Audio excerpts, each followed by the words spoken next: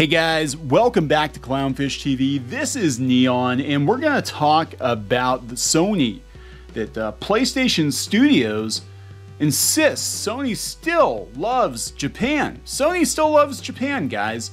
Uh, never mind that the brand is in massive decline in Japan. There have been multiple articles about the decline of PlayStation in Japan over the last couple years, and the PS5 has been kind of a kind of a dud uh, over there. You're still having a hard time finding them here. Geeky told me today that uh, PS5s are still uh, in demand, which is weird because there's really not a whole lot to play on them. But you know, whatever.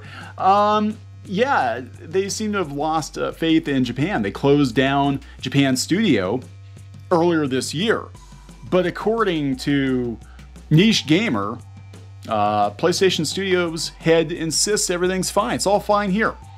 Fine here, guys. Everything's good. It's all good. So before we get into it any further, please subscribe for more pop culture news, views, and rants, guys. We're over 232,000 subs. Uh, thank you so much for the support. We do talk a little bit about video games uh, as it interests us, usually games related to uh, anime or, or along that kind of uh, uh, you know Japanese uh, pop culture trajectory. Um, you know, any major news that that uh, you know a studio done screwed up, like in the case of uh, Last of Us Part Two, because uh, it was a, it was a pretty big story. People were not happy. In this case, it's, it's very interesting that that uh, Sony insists it's all fine here. Everything's good. Again, uh, every every other indicator is that Sony has effectively abandoned Japan. Now I gotta give a couple hat tips here. Uh, Sharza Kitsune uh, who tagged me in on this this one, and uh, Pimp Master Broda also has an article uh, from a couple days ago that um, Sony and PS5's performance in Japan is becoming a grave concern. We'll we'll talk about that after we talk about talk about this again. Niche gamer. Uh, the head of PlayStation Studios, Herman Hulst, insists that Sony Interactive Entertainment is still very much a Japanese company and loves Japanese games. We love Japan. In an interview with Game Informer, head of PlayStation Studios Herman Hulst was asked about Sony Japan Studio. On February 25th, multiple anonymous sources stated Sony Japan Studio was winding down original game development, and the vast majority of development staff had been let go. The studio had created Ape Escape, Gravity Rush, and more. Ape Escape is a classic. Uh, this was due to the studio not being profitable enough in recent years, uh, desiring to make games that appealed primarily to the Japanese market with global appeal. Meanwhile, Sony wanted global hits akin to what other first party studios had produced, basically interactive uh, movies, AAA titles, Western, Western titles. Sony later provided an official statement confirming Sony Japan studio would be reorganized into a new organization. On April 1st, it wasn't an April Fool's joke, they were recentered to Team Asobi, the creative team behind Astro's Playroom, allowing the team to focus on a single vision and build on the popularity of Astro's Playroom. The demo. Basically, it's not even a real game, it's like a demo. Nonetheless, Hulst insists that Japanese games are still a core part of uh, Sony Sony Interactive's uh, identity. I will say that we are in some ways very much a Japanese company. That's our heritage. That's still part of who we are. We love our Japanese games. 2016, Sony's uh, headquarters, Sony Interactive Entertainment's headquarters, were established in San Mateo, California. The same year, Sony Computer Entertainment and more were restructured and reorganized, and that does seem to have a, a huge influence on the kind of content and the kind of audience that Sony is looking for current year, doesn't it? Hulst explained Team Asobi would still be part of the Japanese game development and invested under Nicolas uh, Doucet. Doucet? People forget sometimes that we have uh, Polyphony Digital, which is a team in two locations. We're investing in our external development group out of Tokyo as well, and that's a team that has obviously worked with the likes of From Software and Kojima Productions. So we're very invested in Japanese development, and Japanese development is something that we love.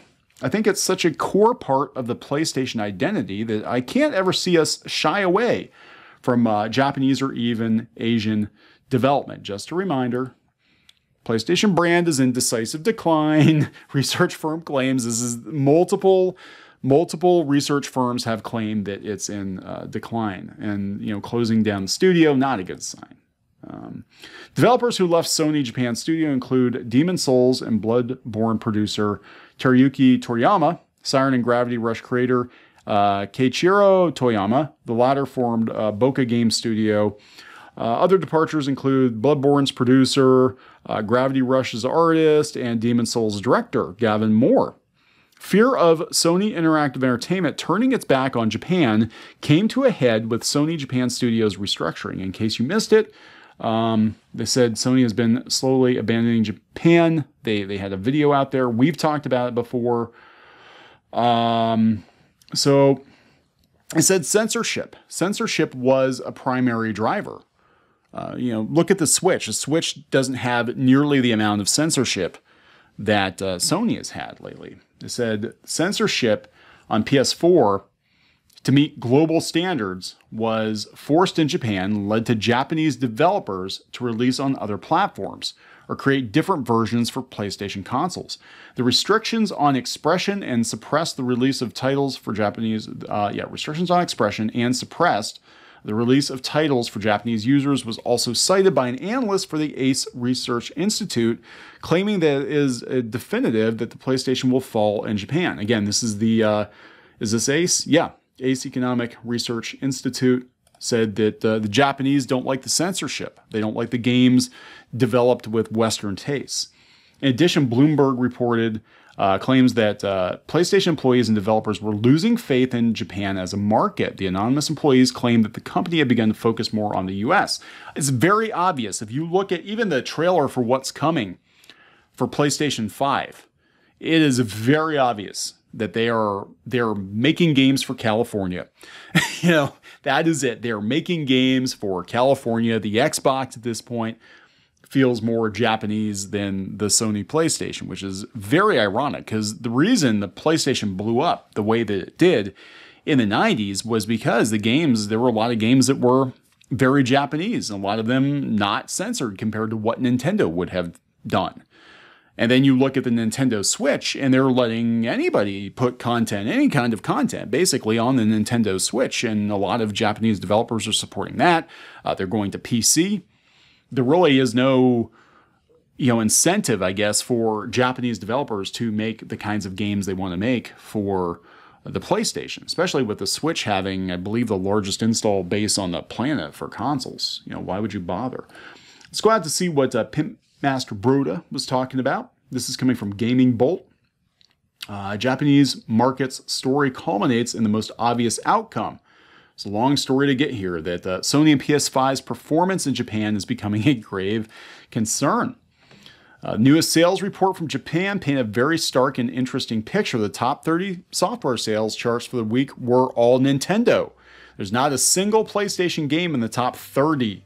And while it goes without saying, it bears repeating the top 30 is all Nintendo, while being one system, which is the Switch. One system has total and absolute domination over the software sales in an entire major market. This has quite literally never happened since the heyday of the NES and paints a rather sordid picture for the state of Sony's prospects in Japan going forward. This is honestly shocking. Why? Why is it shocking? Because even though Nintendo has traditionally done very well in Japan, Sony has always held the lion's share of the software sales in the country. The PS1, PS2 were uh, absolutely the top. Yeah, I mean, it's look, this is what happens. You know, even though the the Switch is uh, you know a, le- a much less powerful system than the PS5, at the end of the day, it's about the games. You know, the games can be 16-bit style games. If they're good games, people will buy them and play them. And uh, Sony is all about the uh, the the wow factor in the wokeness at this point, I think. And you know, Japanese developers are, are jumping ship. Uh, they are. So I think we're going to see the PlayStation brand uh, decline, continue to decline as long as the West is in charge of it. And uh, again, it's been a pretty rapid decline too, and it, it does coincide with them moving to California in 2016.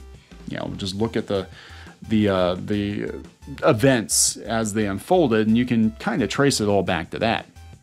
And Japan just won't have it, and they don't need the PlayStation. They really don't. Got Switch, got PC we're good to go. I'm going to wrap it up. Please subscribe for more pop culture news, views, and rants. We'll talk to you later.